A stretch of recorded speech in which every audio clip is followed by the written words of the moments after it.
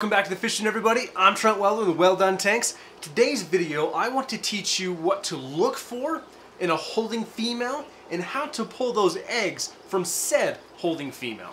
So what we're talking about today mainly is pulling eggs from mouth brooding females mainly on the cichlid side, so cichlid species. I know there's betta species that um, mouth brood. I haven't played with those yet. I even have a pair of Severums, or a group of Severums, up in my 90 gallon studio tank that should be a mouth brooding Severum. Really excited for that. But down here in this fish room, my main fish room, I am focusing mainly on dwarf cichlid species right now. So it's a little different of where I even have you know, black rams that are going to be egg layers. I have some some Moliwe kribensis that laid eggs in a cave and they're tending to their fry. But now on these mouth brooding cichlids, Instead of letting them mouth brood to term and then releasing the fry in the tank, I like to pull the eggs, move them to an egg tumbler. And that way I feel like I have a better yield, a hatch rate over all of that. So let's get started here. I want to show you what a mouth brooding female looks like.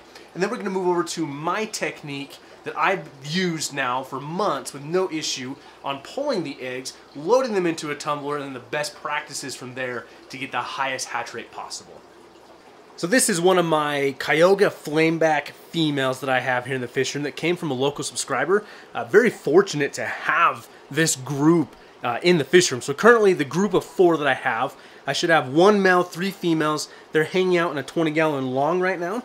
And you can see though, where her mouth, that bottom part of her mouth is protruded, that is a massive amount of eggs in her mouth right now. So it's that bottom jaw extends to allow her to hold all the eggs or fry in her mouth. And you can see where she's rapidly opening and closing her mouth. That's due to partial stress as I pulled her from the group and put her in a specimen container, but it's also she's pulling water through her mouth and through her gills, circulating the eggs in her mouth. I think you can kind of see in there, just there in her mouth, those egg, those little yellow spots in her mouth, that is all eggs. So we are to now move her, I'm to pull the camera over, and we're to set up here to pull the eggs from her, but I wanted to try and give as good as a shot as I can here to show you what a holding female will look like. Because it's, let's see if I can do this, right there.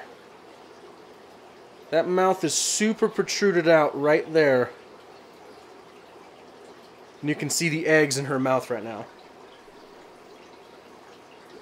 So a couple tools to get started with of what I like to use to pull eggs from holding females. It's going to be a Tupperware container. I just like to have a separate container with a wide enough opening that I can work properly and not going to be in the way of anything. So this is where I'm going to pull the eggs to. A separate container if you need any assistance there. Then, the number one tool I'm going to use is this just a twist tie. Come on your, your, your, your bread goods, whatever groceries you may need. I like a twist tie. They're soft, well, I mean soft-ish. They're not going to harm the fish, and it's just something to pop the mouth open. And then we have a small pipette. This is definitely one I've been using the fishing for quite a long time. I just cut the end off of it there to make a bigger opening. This is actually what I'm going to use uh, to collect the eggs once we're done here. So let's go ahead and get our female. So I hold her in a specimen container, and then this is where I, I grip the fish. I cradle her between these three fingers, just put my thumb right there, because all we need to do is you don't want to hurt the fish, but we need to now pop her mouth open with the twist tie. And it's easier if you can do this underwater. I'm trying to get you the best camera angle I can here. But just keep her underwater. This is why I like the Tupperware container with a little bit of a bigger opening. Pop her mouth open. Oh, and this is exactly why I also do this in water. If you lose her, just cradle her back up.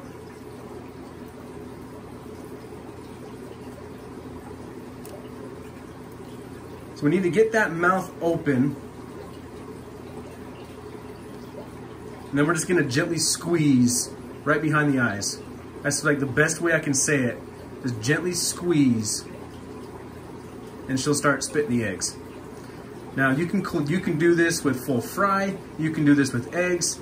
Um, you can do this directly into any egg tumbler you're going to use.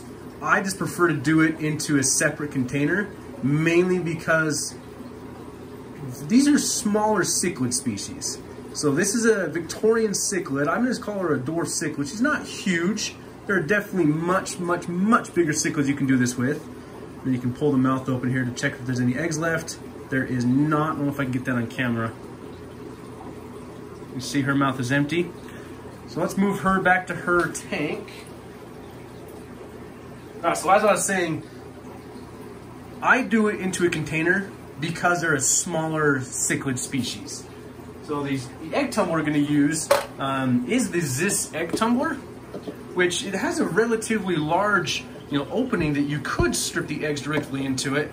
But with these smaller cichlid species, I find it just easier if I move them into a, a container first before I then load them into the egg tumbler. Just my personal preference, that's how I do it from there. So now let's move the eggs over. So we're gonna fill this up with water. So this is the egg tumbler we're using. I'm gonna fill this with water, then transfer the eggs over to here. Okay. So if you're gonna tumble this, you can tumble this in the same tank as the parents. I just have so many tumblers going on. I have a set tank for tumblers. So now we're gonna take that three mil pipette, cut the tip off of it, and what this allows us to do is here, I can come in and extract the eggs out of the container much easier this way. And that's where I also count the eggs. So that's just that. You suck them up into the pipette, then you move them over to the tumbler. And this is where I separate any unfertile eggs out. I, it's, it's just a, a fast method and you're not gonna damage the eggs this way. So there was a total of 40 eggs from this spawn. Not bad, not bad at all. So let's go ahead and pull you over to the egg tumbler tank and let's get these eggs actually tumbling. So back here at the tumbler tank, so this is the 10 gallon tank that I have set up here to purposely use for tumblers. And I'm using the Ziss egg tumbler, the Z65, my favorite egg tumbler I've used. So I'm gonna load the eggs up here. Get the top of this tumbler hooked up. Alright, so now the top of the tumbler's hooked on. I'm gonna lower this down into the tank. As it starts to fill with water there, it's gonna push the eggs around. And then what's so nice about these is how easy it is to pull the tumbler in and out. So we're gonna just slide that back into place like that. And now we need to actually get the air turned on here. So let's open the valve up. And you just want the air on, in my opinion, just enough where it just, it cradles the eggs. if I turn it up too high, it just pushes them all over the place. I like to where it's just cradling the eggs, kind of like that outer edge of the tumbler, where they almost just look like they're just hovering in place. And that's what's allowed me to have ultimately the best success possible in hatching eggs. So guys, there you have it. Thank you so much for joining me on this one. Hopefully that helped somebody. Let me know. Leave me a comment down below. Have you ever pulled eggs from a holding female before? Is this something you now feel comfortable trying if you haven't? Say it's relatively simple. So, and the reason, I didn't explain it, the reason that tank is blue of where I'm tumbling the eggs in is I do dose methylene blue to that tank to help the eggs to keep from fungusing. I do in the future want to experiment using a UV sterilizer in that tank. That's what I'm using for now. So I, I think we're gonna have a good success out of this. I've been hatching a lot of fish that way. Let's say here, my entire fry system is full of fry right now and that's all fry that has come from those egg tumblers. So on your way out, hit the thumbs up, hit the subscribe, and we'll talk to you guys in the next one.